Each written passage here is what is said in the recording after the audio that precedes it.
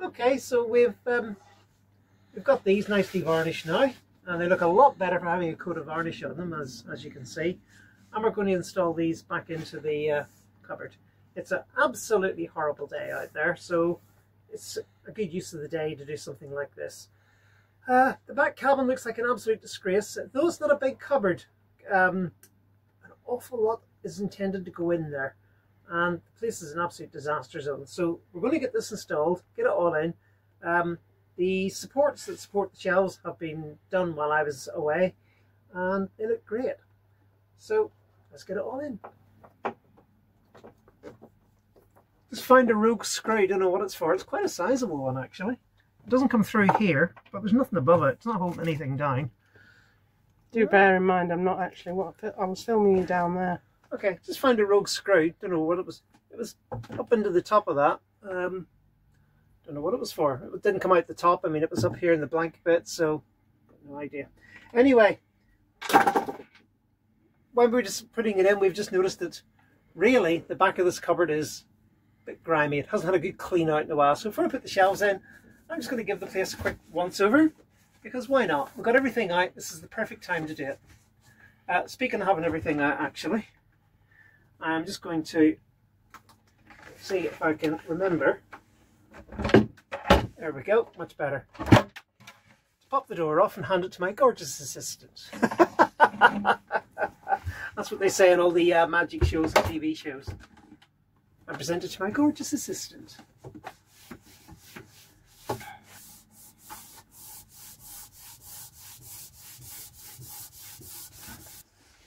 Uh, yeah, it dirty, Bev. Yeah.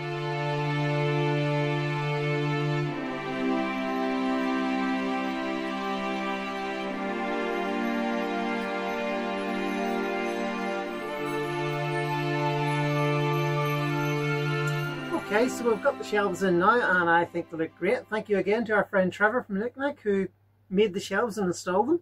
They look really, really good. Thank you, Trevor. So what we're going to do, just to stop things sliding around while we're at sea in there, I know it's got fiddles so they won't fall out, but I don't want them sliding back and forth, is we're putting some of this rubber stay put matting down. What's it called? Anti-slip mat. Um, you can get this nearly anywhere. It's nothing special about this particular one. And we're just going to put that down and things will sit on top of it. It just stops them sliding around. We use it everywhere. We've got it in all our other cupboards and things like that. And it's really, really good stuff.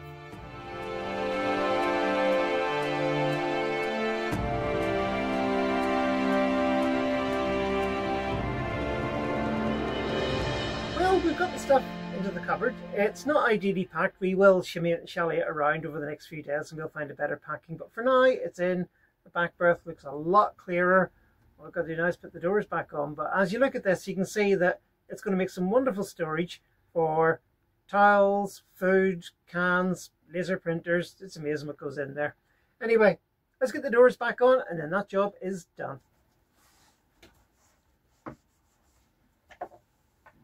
Oh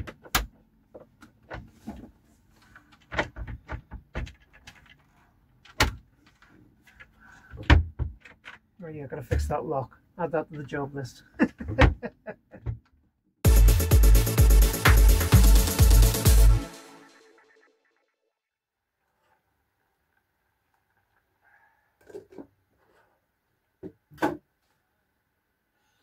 Another um, left of field, maybe, uh, item that you should consider uh, having on your boat is um, a padded wash bag.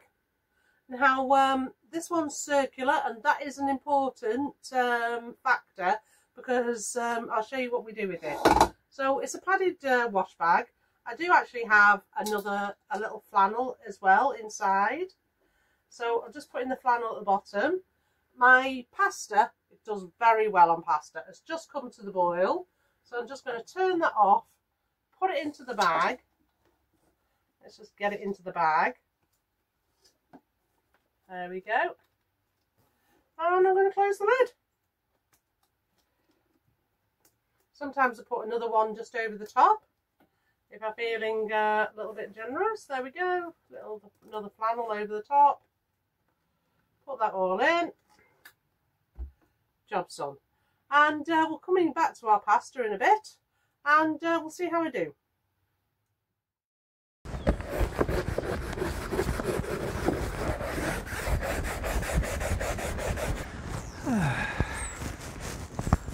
Well, welcome back to this episode of Sailing Salty Poop. uh, the starlings are still migrating, they're up there doing their starling things, which mostly includes pooping all over my boat.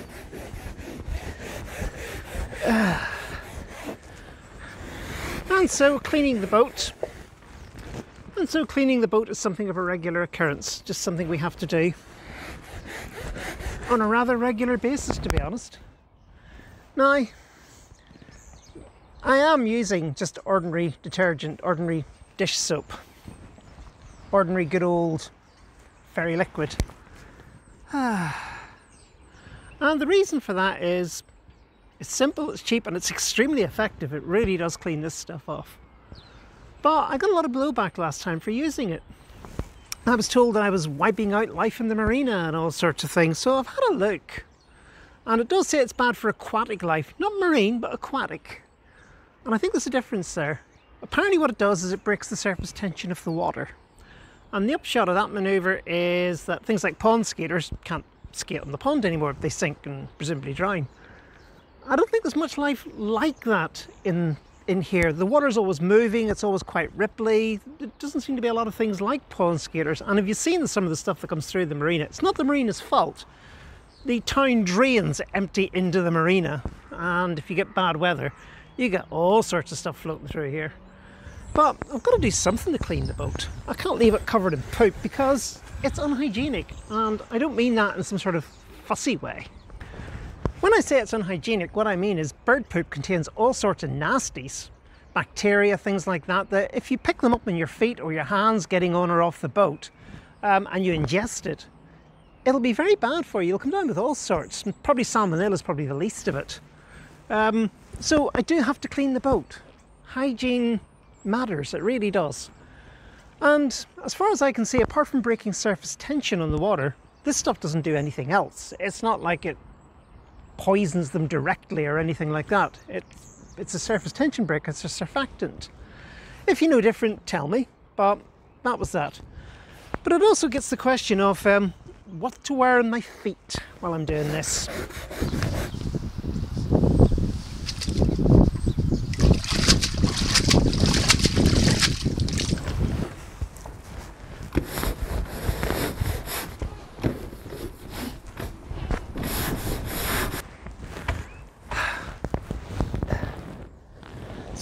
Downsides of using this stuff,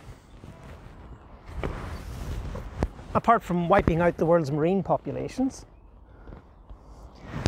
is that um, it makes the decks very, very slippery. So what do you wear on your feet? And it's a question that we asked our users on our Discord server. You know, what sort of things do you wear? I mean, all sorts of answers. Some of them are tad worrying. Um, I think my most worrying answer, because I didn't quite understand it, was we wear thongs when we're aboard. And I thought to myself, yeah, I was asking about feet and shoes, not underwear. But it turns out that thongs are probably what we would call lace up sandals in the UK, or possibly Jesus sandals, I'm not too sure. Um, but it's the ones that lace up your legs and things. But flip flops, fancy flip flops is apparently what a thong is. it comes as news to me. Um, we had all sorts of things. People wear Dubarry 200 pound deck shoes. Lovely if you can get it. I don't know if I'd wear expensive shoes to clean up bird poop. Um, now, it turns out that I am actually wearing deck shoes. And I got them from Decathlon, they were about 40 pounds. And I didn't go hunting for deck shoes in particular. What I went hunting for was trainers. Because I usually wear trainers. And I don't usually have a problem getting them. But trainers are a fashion item and they come and go. And the current fashion seems to be that the soles of your trainers are black. You know, the sort of thing that leaves big lines up and down your deck.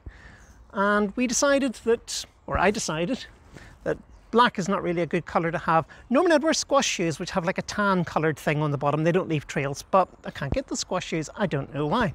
Don't play squash. Um, but I couldn't get any trainers that weren't black soled. And the price of them was outrageous. I mean, like they were looking like 90, 100 pound for a pair of trainers. So these were 40 pound from Decathlon and they turn out to be deck shoes. So they have a light coloured bottom. I don't know if the grip's particularly good. It doesn't seem bad, but the Bavaria deck is quite good, so that's the thing. But um, the other thing that this, these wouldn't be any good to me at sea on a stormy day, but we have boots for that. The problem with the boots is getting a pair that lasts. And originally we had gill sealing boots, and they lasted quite well. But quite well isn't forever, nothing lasts forever. My current gill boots, which I got a couple of years ago, have literally fallen apart.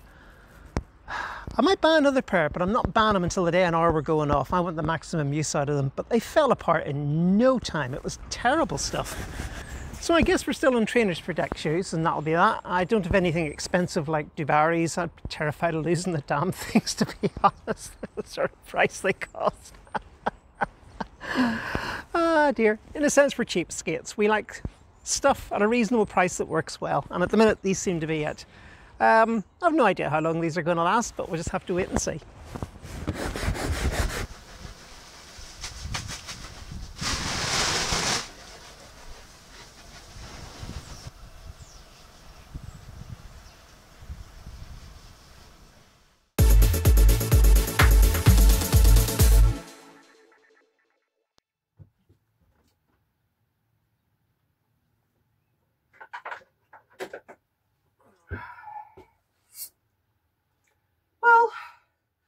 Using the little, um, I call it a cozy, um, you know, because it is just basically a little cozy method. Um, does work um, to some extent with rice um, and potatoes. I have used it for both, mainly because uh, sometimes uh, our Mr. D is a little bit um, full, but um, it's not quite as good on the potatoes. You might have to reheat them um, another time just during the time that you're putting them on. Um, but it does a great job. But, but for pasta, it's an absolute great standby. And it just means that you're not having to get all sorts of stuff and you're not using your gas, which uh, is a very, very important thing.